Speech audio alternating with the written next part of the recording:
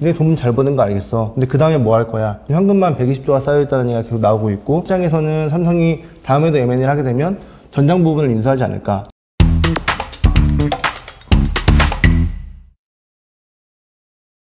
그리고 그 사실 삼성하면은 그냥 이꼬르 반도체 뭐 음. 이렇게만 생각을 하는데 그거 말고 또 볼만한 포인트 아, 네네. 있다고 이제 제가 들어가지고 네네네. 네, 아무래도 지금 보시면 그 글로 파운드리 부분이 굉장히 중심이 되는 이유가 뭐 아무래도 반도체 shortage 때문에 가격이 많이 올라가는 부분이 있거든요. 그래서 그 부분이 이제 성장성이 계속 좋고 cash cow 역할을 또 하기 때문에 좋은 건데 음. 그 파운드리 같은 경우에는 지금 가동률이 100%입니다. 네네. 여기서 뭐 더 성장을 하려면은 공장을 지을 수밖에 없어요. 음. 무조건 지어서 네, 기다리, 그러니까 기다려야 돼요. 삼성 차원에서는 지금 가격을 급격하게 올리지 않는 이상은 반도체 부분에서는 그냥 성장성이 있는 거지 음. 새로운 돈을 더 벌 수 있는 부분은 아니거든요.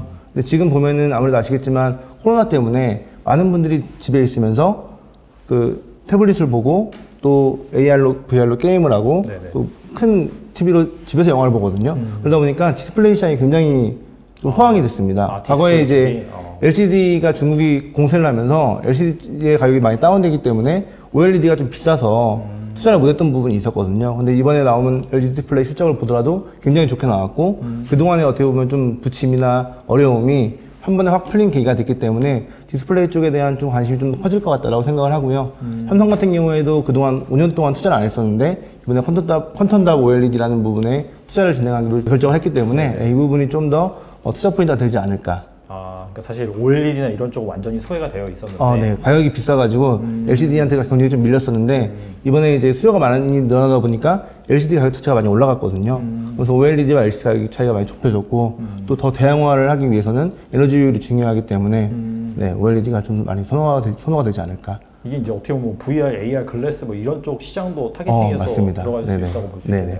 지금 보시면은 저희가 그 기술이 발전하는 부분에서 당연히 AR, VR 기술이 많이 지금 화두가 되고 있거든요. 그 이유가 뭐냐면 메타버스 때문에 그렇습니다. 네. 그렇죠. 네. 메타버스라는 건 어차피 시공간을 초월하는 새로운 세계인데 그 세계에서 더 현실감이 느껴지려면 음. 단순하게 그냥 화면으로 보는 게 아니라 어, 오큘러스가 개발한 glass, glass라든지 아니면 구글 글라스라든지 이런 걸 써야 되는데 네. 이런 부분들에 적용하는 부분들이 다 OLED거든요. 음. 근데 삼성 같은 경우에 이런 소형 OLED에는 원래 강점이 있었고 애플이나 이런 부분들이 다 납품을 하고 있었기 때문에 뭐 그 부분은 계속 성장을 할 거라고 보고 반대로 이제 대형 OLED는 좀 미진한 부분이 있었고 그 부분을 다 LG가 좀, 좀 독식을 하고 있었는데 그래서 얼마 전 뉴스에는 또 삼성전자가 LG 디스플레이에 OLED를 쓸 수도 있다. 뭐 적과의 맞아요. 동침 그- 이런 뉴스가 좀 네, 많이 그 크게 본- 나왔었거든요. 네, 봤어요. 뭐 네네. 아니다라고 뭐 부인을 했는데 네, 맞습니다. 네. 어. 단기적으로는 뭐 수요가 워낙 많기 때문에 그렇게 될 수 있다고 저는 생각을 하고요. 또 그런 그 부분은 당연히 삼성 입장에서는 자존심이 상하는 부분이기 때문에 음. 디스플레이 쪽으로도 좀 확- 투자가 많이 확대되지 않을까라는 아, 생각을 하고 있습니다. 그러면 사실 수년간 사실 그 디스플레이 쪽 투자 같은 경우에 미진했는데 아, 네, 맞습니다. 이번 일을 계기로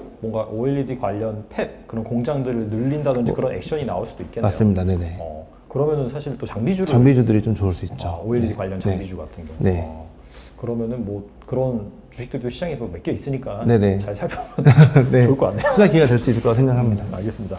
그리고 이제 삼성전자가 그 최근에 이제 컨퍼런스 콜 여기에서 이건 근데 사실 올해 1분기 뭐 작년 4분기부터 계속 나온 말이긴 한데 네네. 그 AI 즉 인공지능 음. 뭐 5G 전장 관련 그, 그 사업을 키우기 위해서 네네네. 뭐 3년 안에 M&A를 네. 하겠다 그런 네네. 얘기를 계속 하고 있거든요. 맞습니다. 네. 그래서 이거와 관련해 가지고 좀 발생할 만한 뭐 투자 기회, 음. 뭐 눈여겨볼 만한 그런 기업들이 좀 있을까요? 실제로 좀 삼성전자 입장에서 굉장히 좀 아쉬운 부분일 수도 있고요. 뭐 아시겠지만 뭐 리더의 부재가 있으니까. 네. 근데 또 대외적으로 계속 비판을 받는 부분이 근데 돈잘 버는 거 알겠어. 근데 그 다음에 뭐 할 거야? 거든요.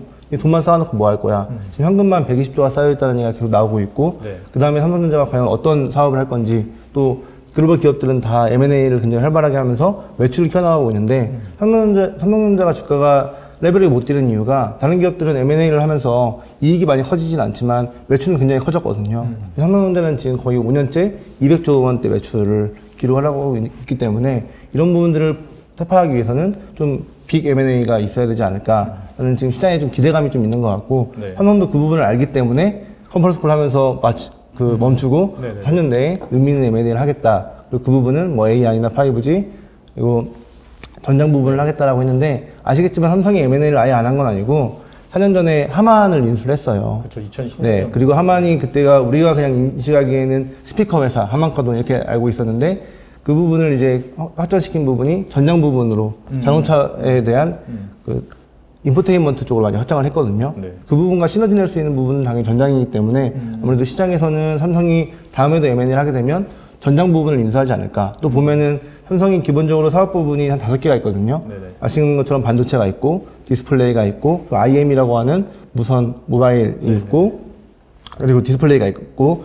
그리고 마지막이 전장입니다. 네. 근데 나머지들은 그냥 사업 영역으로 하고 있고 아, 하만은 독자 영역을 하고 있거든요. 전장으로. 음, 네. 그래서 아무래도 다른 부분을 인수해서 붙이기에도 하만이랑 시너지를 많이 낼 수 있을 것 같아서 그쪽으로 좀 검토를 하고 있는 것 같고 제가 자료를 좀 보여드릴 수 있는데 네. 그 전장 차량용 반도체 시장 같은 경우에는 되게 좀 여러 기업들 마- 너무 많은 플레이어가 아니고 한 몇 개의 기업들이 지금 이 부분을 분할해서 점유를 하고 있고 아. 1위는 이제 독일의 인피니언, 네. 2위가 네덜란드 NXP, 3위가 일본의 르네사스, 4위가 스위스의 ST 마이크로스거든요. 그래서 이 기업들에 대한 지금 인수 가능 여부가 좀 나오고 있는 부분인데 뭐 정서상으로도 아시겠지만 일본의 르네사스 같은 경우에는 일본 기업이 우리나라랑 M&A 하지 않을 거기 때문에 우리나라에서는 좀 배제를 하고 있는 부분이 있고 그리고 또 의미 있는 부분이 이제 이 NXP라는 회사거든요. 이 NXP 같은 경우에는 2016년에 퀄컴이 인수 시도를 했었어요. 아, 그 인수 계약까지 체결을 했고 네. 이제 독과점법 때문에 관, 관련 관계되어 있는 그 국가들의 승인을 받아야 되는데 공교롭게 이때 트럼프 대통령이 미중무역 전쟁을 터뜨렸죠. 그래서 16년에 계약 체결했는데 9개 국가의 승인을 받는데 8개 국가는 받았는데 18년도에 마지막에 중국의 승인 거절이 나옵니다. 아. 그래서 이 부분을 인수를 처리하게 됐어요. 지금 다시 보면 M&A를 한번 시도를 했었고 네. 다시 어, 매물로 나올 수도 있는 부분이기 때문에 삼성이 충분히 노릴 수 있고 지금 주가는 좀 많이 올라서 한 시가총액이 66주 정도 하고 있는데 삼성이 가지고 있는 120조의 현금으로는 충분히 인수할 수 있는 규모이기도 하고 또 인수했을 때 그 하만과의 시너지를 생각하면은 이 부분이 좀 NSP가 가능성이 높지 않을까 라는 생각을 하고 있습니다. 저, 저 기업들은 그러니까 한마디로 그 차, 차량용 반도체 설, 네, 설계 맞습니다. 기업들이죠. 설계도 하고 뭐 제조도 하고. 이제 네. 사람용 반도체만 독점을 한, 그 단독으로 하는 건 아니고 NSP 같은 경우에도 이제 인수하게 되면 좀 시너지 효과를 기대할 수 있다는 부분이 사람용 반도체만 하는 게 아니라 뭐 인토, 인포테인먼트나 아니면 MCU 또 아니면 산업용 반도체에도 관점이 있기 때문에 이런 부분들까지 또 확대를 할 수가 있고 또 하나 이제 기대할 수 있는 부분은 ST 마이크로라는 회사인데요. 네네. 이 회사는 매출 규모가 한 4조 원 정도로 크진 않은데 하고 있는 사업 영역이 차세대 반도체라고 하는 실리콘 반도체를 만들고 있습니다. 아. 그래서 이거는 신기술을 또 M&A를 통해서 확보할 수 있는 기회가 되기 때문에 제가 보기에는 좀 개인적으로는 이 두 기업이 좀 유력한 그 대상이 되지 않을까 고려 대상이. 네, 근데 M&A 같은 경우에 이제 경영진의 결정과 또 회사 결정이기 때문에 뭐 예단할 수는 없는 부분이고. 네.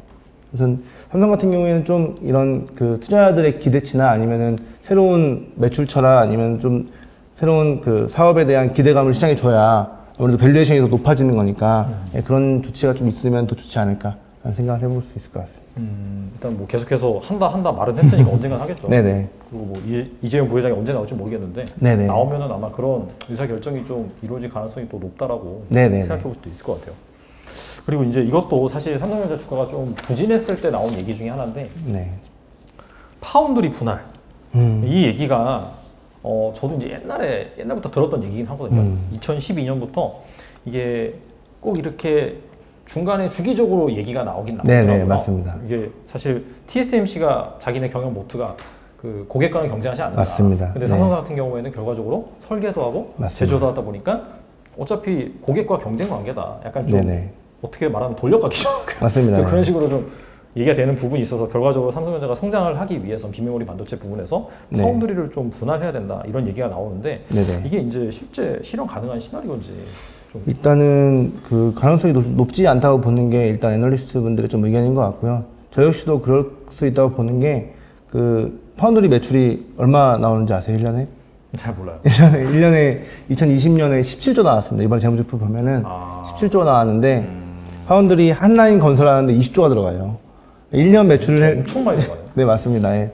투자가 굉장히 많이 들어가는 부분이 있어서 지금 보면은 삼성 같은 경우에는 그 다른 지금 반도체가 어떻게 보면 투자의 포인트가 되고 있잖아요. 네네. 그렇지만 그 돈을 제일 많이 버는 부분들은 뭐 메- 메모리 반도체랑 무선이거든요. 네네. 그래서 이런 부분에서 버는 돈들로 지금 이 새로운 성장 사업을 투자하고 있는 부분이기 때문에 음. 아무래도 분할하는 부분보다는 이그 경쟁력을 갖추기 전까지는 파운드리 내에 있다가 음. 나중에 이제 정말로 그런 성장성이 필요할 때 아니면 또 일반적인 그 파운드리만으로도 충분히 자생이 가능할 때 네. 독립을 하지 않을까. 어, 만약에 한다면. 음, 만약에 네. 한다면 네. 그러면은 아직은 좀 시기상조다. 좀 시기상조일 것 같습니다. 그렇게 볼 네. 수가 네. 있겠네요. 어, 아무래도 그 그런 캐시카우 사업 부분에서 돈을 잘 네. 벌은 다음에 그 돈으로 투자를 해야 되기 때문에 네네. 지금 상황에서 뭐 어떻게 한다는 것 자체가 자생력이 없기 그 한남 때문에 같은 경우에 사업 구조가 이미 그 파운드리 쪽으로 자체 내에서 사업부에서도 충분히 그 시너지를 낼 수 있는 구조가 되어 있기 때문에 또 말씀드린 것처럼 지금도 가동률은 100%거든요. 아, 뭐 가동률이 떨어져가지고 그런 우려 때문에 분할해서 더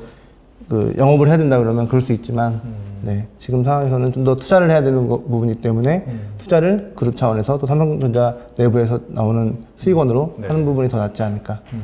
주주 입장에서 그래도 나을 것 같은데요.